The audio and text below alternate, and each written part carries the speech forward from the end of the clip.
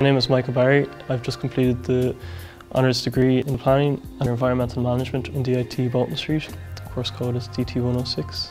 Um, I went to school in Virginia College in Virginia, County Cavan.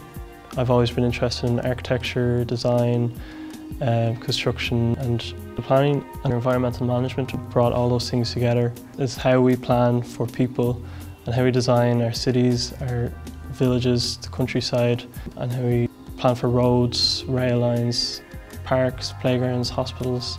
Everything that you see in the city, the countryside, everything has to be planned for. You could be working with architects to sort of get the best design for an area. You could be in a private consultancy doing this kind of stuff. Um, or you could be in a county council looking at planning applications, saying what should be built where or why it should not be built there. The course is an overview of many things including geography, architecture, design, law, economics um, and in, in first year we get an overview of each of these things. Another good thing about the course is we're not always in lecture halls. We do site visits, we go on field trips and we do studio work. After first year we then choose either environmental management or spatial planning. I chose spatial planning. So this was a project done in final year. Uh, this is our master plan project for an, an industrial estate in Coolock. We had to go out and survey the area and see what was there, find out what was needed, and then we came back to college and redesigned the area with houses, apartments, industrial uses, warehousing, uh, commercial uses, retail, and it became a whole new area which we called Greencastle.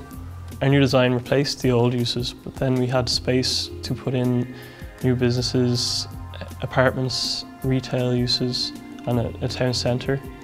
We did this to create an area, a new area for people to live and work, but also to benefit what the people that already live in the surrounding areas. The great thing about DIT is they're very small classes, so it's really easy to meet people and to make new friends. Another great aspect of having a small class is uh, you get to know the lecturers quite well, so you know them on a first name basis, they know you on a first name basis.